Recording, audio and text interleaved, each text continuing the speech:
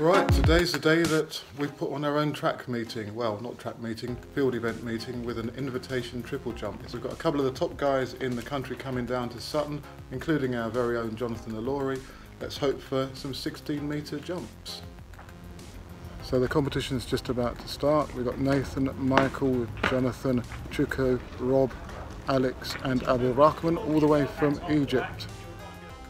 We decided to put the meeting on as a number of guys who were in with a chance of achieving the European Championships qualifying standard of 16 metres 60 didn't actually have another meeting on the programme where they could go for the distance. As I mentioned, we actually managed to put the competition on in a matter of days and it was great to see three 16 metre plus jumpers in the field. I filmed most of the competition and you're going to see most of the top jumps performed. This is Michael Puplampu who has a best of 16 metres 43. Take a look at their techniques and learn and apply some things to your jumping. I'll also make some comments as we go along. Think about how these comments can benefit your own technique Here's Chuko Cribb, who has a best of 15 metres 33. There's perhaps too much bounce as Chuko moves through the phases rather than swinging out and forwards on each of the contacts. In the first round, both Rob and Nathan ran through on their attempts. You want to be able to hit that takeoff perfectly each time. It seemed to be contagious as our own Jonathan also didn't complete this jump. In round two, performances began to improve and it's a shame this jump was ruled a no jump by Michael as it would probably have been his longest. Take a look at the contacts and the forward movement throughout the phases Triple jump is all about creating range through the three phases and you need to be patient and wait for the ground contacts. This applies also to the arm action which will drive you forwards on each contact. Notice the single arm action swing in the step phase here from Rob.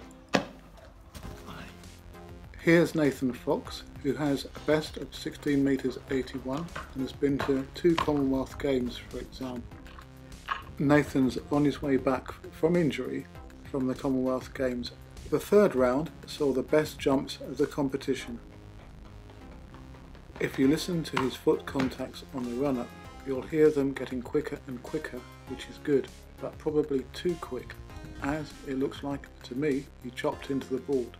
The wind reading was 1.83 metres a second following, so this could explain it as there were headwinds previously. Look at the contacts out of the phases, particularly the step phase, and see the range that's created through the hip before the strike. The distance was 15 metres 86. Here's Nathan's best effort and he's getting his angles better through the phases.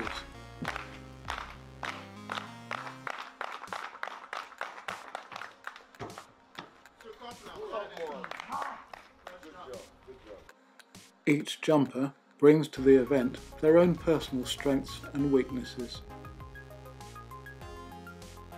Nathan certainly goes a lot higher through the phases compared to Jonathan for example. Here's Jonathan, and this was to be the longest jump of the competition.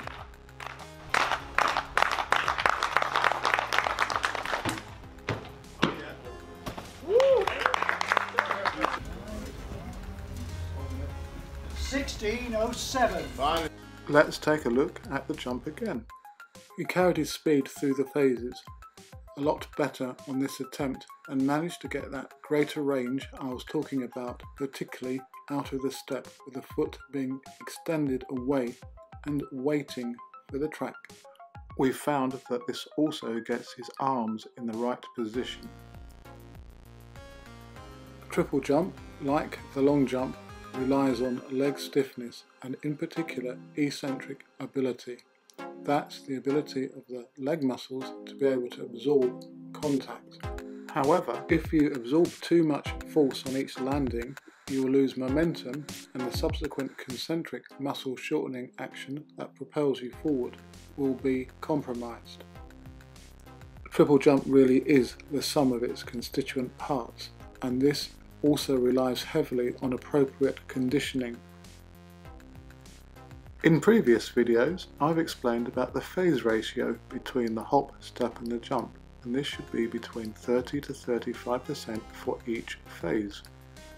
Having said that, the hop and the jump phases should be the slightly longer ones, with research indicating that a hop dominant model will produce the longest jumps overall. This is probably because you'll be able to maintain greater speed after the hop. If you look closely at the jumps by Jonathan, Nathan and Michael, they're clearing about 5 meters 60, 70, 80 on their hop phase.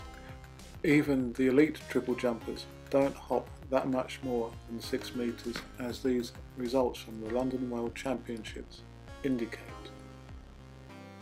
To jump around 17 meters, the hop and the step needs to get out to around 11 meters. If you overhop, the chances are the step will be too short which will compromise overall distance. Of course there's going to be some exceptions to this. However, if you try to stick to a relatively balanced phase ratio with a slight dominance on the hop, you'll be well positioned to jump as far as you can. So here you can see Jonathan landing on the 7 metre board, just about. So he's hopping a high 5 metres, 5 metres 90 potentially. For Jonathan, it's all about generating greater distance and contact speed out of the hop and into the step. When he masters this, he'll get close to 17 metres, all being well. And really, the same would apply to Michael and Nathan. We're now in the sixth round of the competition and here's Michael jumping 15 metres 66.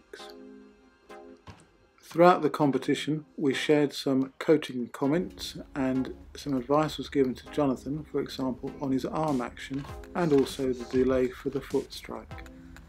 Everything considered, it was a successful competition. Okay, none of the guys managed to achieve the 16 metre 60 European qualifying standard. However, the event provided a useful opportunity for them to compete against each other and share ideas. Just to reiterate, it was a win for Jonathan Ilori with a distance of 16 metres 07 with Michael Puplampu second with 15 metres 86 and third was Nathan Fox with 15 metres 81. As usual, thanks for listening and good luck with your training and competition and do subscribe to the channel and leave any questions you may have in the comments section below.